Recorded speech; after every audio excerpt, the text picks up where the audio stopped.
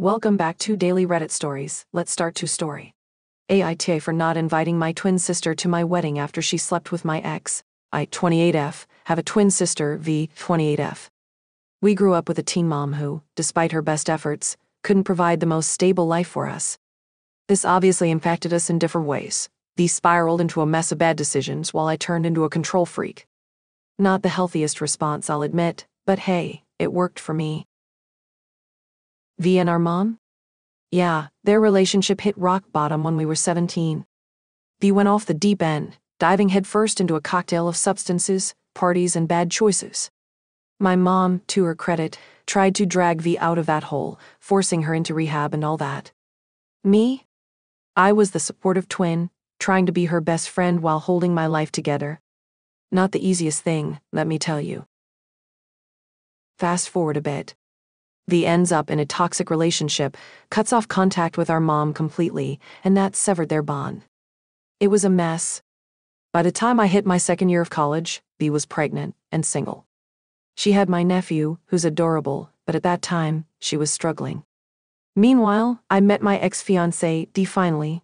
I thought I'd found the one after a string of short lived relationships. D and I were solid, or so I thought.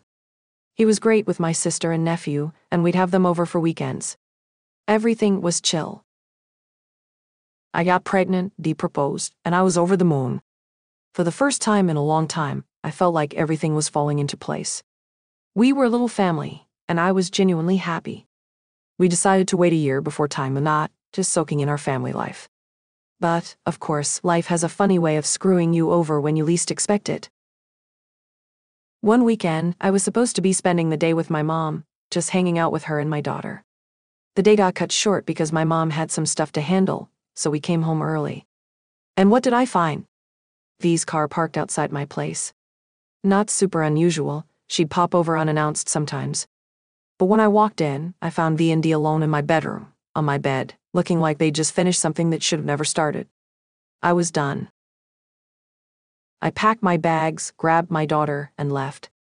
No explanations, no excuses. I didn't even give D the chance to explain himself. I cut them both out of my life, and the only connection I've had with D since then has been for visitation rights for our daughter. It's been three years since that whole disaster. V has tried to crawl her way back into my life every now and then, apologizing, crying, offering excuses. But honestly, I don't care. There's no excuse she could possibly give me that would make up for what she did. Sure, we share the same DNA, but that doesn't mean I owe her anything, least of all forgiveness. Now, fast forward to today. I'm engaged again to the love of my life, and he's everything I could have ever dreamed of, and he loves my daughter like his own. We're planning our wedding for June, and it's going to be perfect. But there's a catch. My mom is begging me to invite V to the wedding. She's telling me I should forgive and forget, that family is family, and we should put the past in the past. My mom's even gone so far as to say this might be the only way to fix things between V and me, and that my daughter deserves to have her aunt and cousin back in her life. Honestly, it's tearing me apart. I get where my mom is coming from. She's managed to forgive V, and they've mended their relationship, which is great for them. But I just can't bring myself to do the same.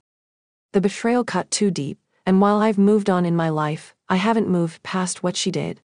So, no, I don't want her at my wedding.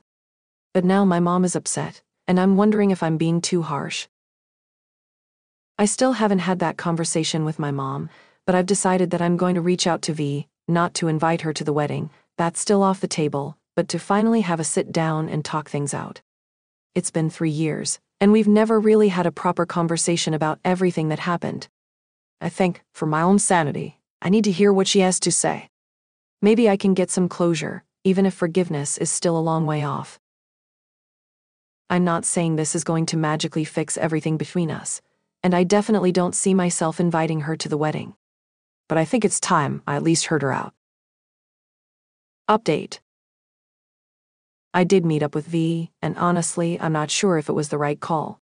She's been trying to get in touch with me for a while now, blowing up my phone with texts, calls, and even Insta DMs. I finally agreed to meet, but I made it clear this was a one time thing. We weren't going to be besties again after this. When we met, she gave me all the excuses I expected. I wasn't myself, I was struggling, it wasn't meant to happen. Honestly, hearing it in person just pissed me off more. I didn't need excuses. I needed her to own what she did. And in a way, she did, but not fully. What really got me, though, was learning more about the situation with D. Turns out, their little fling didn't just happen once. It continued for months after I caught them. They were still trying to make a relationship work while I was picking up the pieces of my broken family. Can you believe that? My child's father was playing happy families with my sister, while I was left to deal with the fallout. That just enraged me all over again. I had to leave the park where we were meeting because I was screaming at her by the end of it. I wish I had never agreed to meet up. It wasn't worth the pain it brought back. Since then, I've blocked her, and I haven't heard from her directly. But apparently, she's been crying to my mom, trying to guilt trip her into convincing me to let her back in. Her boyfriends even reached out to me asking if I'd talk to her. Nope, not happening. So that's where I'm at. I've blocked her and her boyfriend, and I'm focusing on the good in my life. My mom and I have worked out a system where she can still have a relationship with both me and V without forcing us to interact. My daughter still gets to see her cousin, which is great because they adore each other. As for my wedding, it's happening in June, and I'm happy to say V won't be there. My sister might have shattered my trust, but I'm building something new with them, and I couldn't be more excited for our future. Comment Doesn't like turtles. And Ente? Your mother doesn't have any qualms about bothering and upsetting you, does she? She knows how you feel and keeps pushing anyway. I wouldn't have any problem cutting her out too if she keeps it up.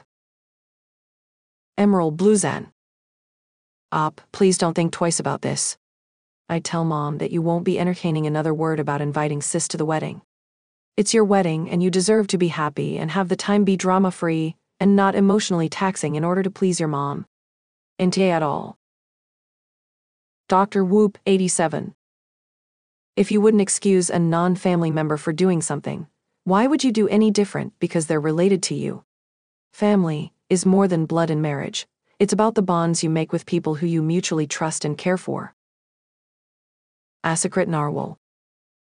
Your mother is being an odd to you by trying to get you to reconcile.